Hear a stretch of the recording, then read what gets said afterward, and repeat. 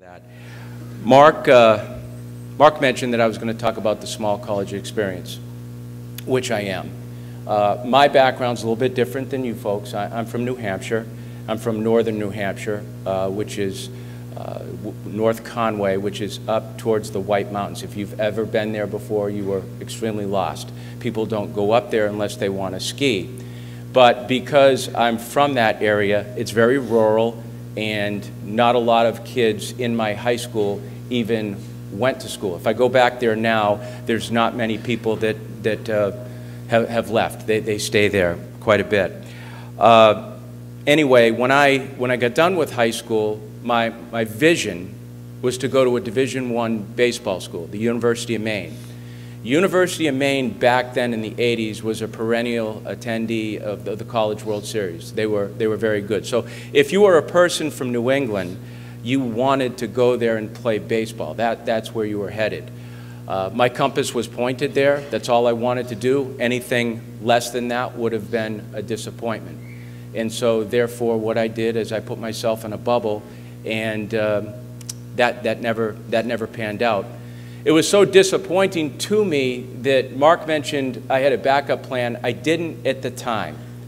And I think that was disappointing to my parents because I wanted to go to Maine. They didn't want me. So what I ended up doing is going to a, a prep school for one year, which is very unique in the, in the Northeast. You can, after you finish high school, you can go to prep school for one year, which I did. The school was Kimball Union Academy. It's a school much like this, but postgraduates up there, you can play football, basketball, and baseball, which I did again.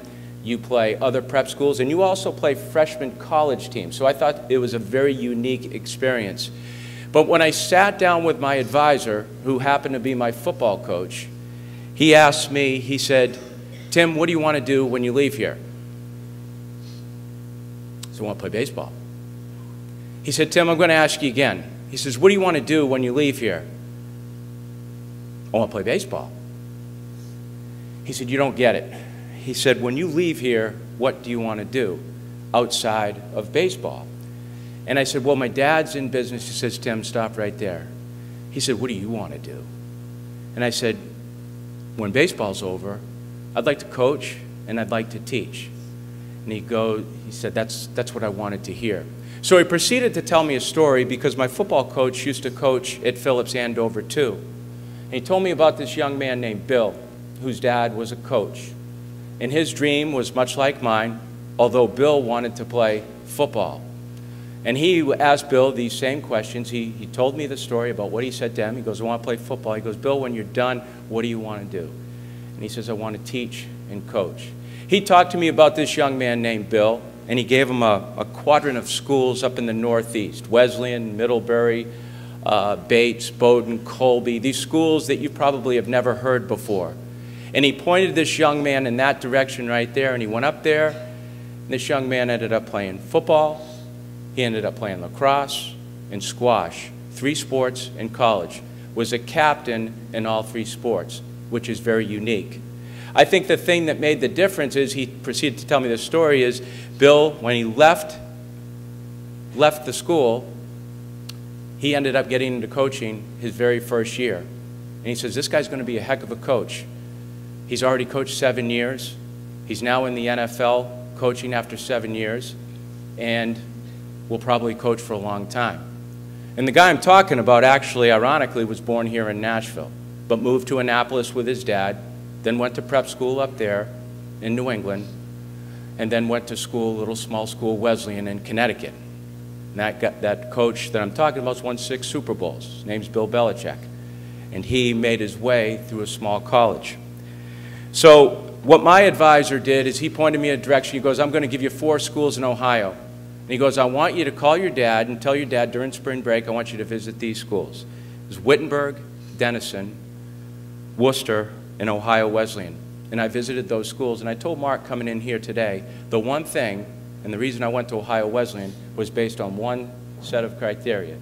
It was their student life center. It was called the Branch Rickey Center. It encompassed everything. But when I saw it, I said to myself, I can live in there. Well, I ended up going to Ohio Wesleyan, uh, stayed there for four years, graduated in 1984, played four years of baseball, played four years of baseball. I probably could have gone to the uh, Maine, walked on, don't know if I ever would have played, but I played four years of baseball. I was a captain my senior year. The other opportunity I got to, to do was my college baseball coach was also an assistant football coach. Today, my college baseball coach, then the assistant football coach, is now the general manager of the Pittsburgh Steelers.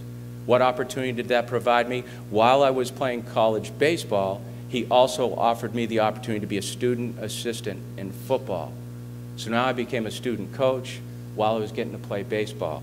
Very unique opportunities for a young man who's 18, 19, 20 years old. My college roommate, athletic director at the University of Arkansas, head of the Bowl Series. Seven teammates, college Division One football coaches right now.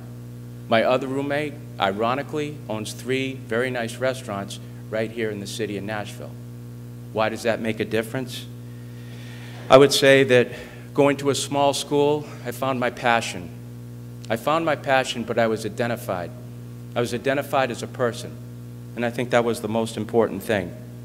Now I'm in a situation where I've never worked a day in my life. I don't have a job. I have a lifestyle.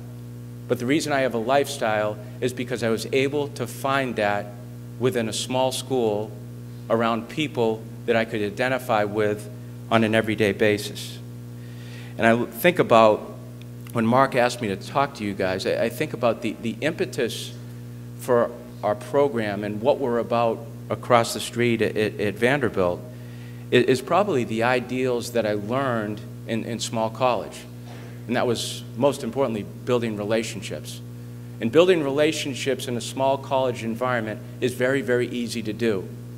I think it helped me learn how to write. I wasn't a very good writer when I went to, to Ohio Wesleyan, but you think about it when you go to a small school and you have class sizes of 10 or 15, the teachers are more apt to give you projects they can actually take their time and grade.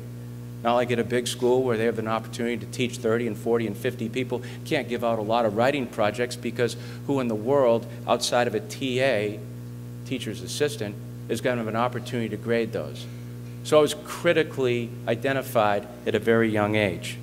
The personal attention, the participation. I learned what connection was. I learned what real connection was connection to teachers, connection to people. But I think the thing that I gained most was inner confidence. And I talk to our kids all the time at Vanderbilt about inner confidence. Sometimes you see pro athletes, college athletes, project themselves in a way that is manufactured. They want to project themselves through social media in a certain way. That's not, talking, that's not the confidence I'm talking about. Confidence I'm talking about is the one that's internal, the inner confidence that you get from achievement, the inner confidence that you get from preparation, the inner confidence that you get from developing strong, passionate relationships with people that you care about. I wouldn't have got that at the University of Maine. I may have known another life, but if I had gone to the University of Maine, there may be no way that I'm living at 3819 Whitland Avenue and have a chair over at Vanderbilt University coaching baseball. That never would have happened. The guy I was on the sidelines with the other night in the Big Ten championship game, standing next to Coach Franklin, is another person, Division three quarterback. One of my best friends, who coaches in the NBA, Brad Stevens, Division three basketball player at the DePauw. So you look at these people in life that have made their way and found their passion and found their confidence, but it's only through small school experiences and people they've identified with.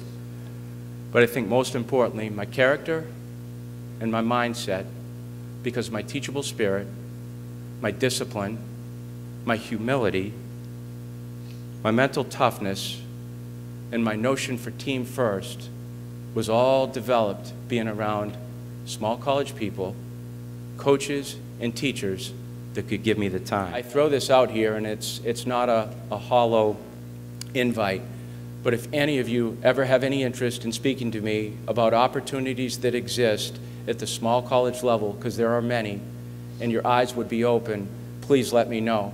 I help a lot of young men that don't come to Vanderbilt, and I really enjoy it. And the reason being is because I was that one I was that one person at one time. So if you ever want to get a hold of me, you want to come over, you want to talk, you reach that, that man right there. He knows how to uh, contact me, and I'll get with you, and we'll spend some time on it. Thank you very much. Good luck to you guys you move forward.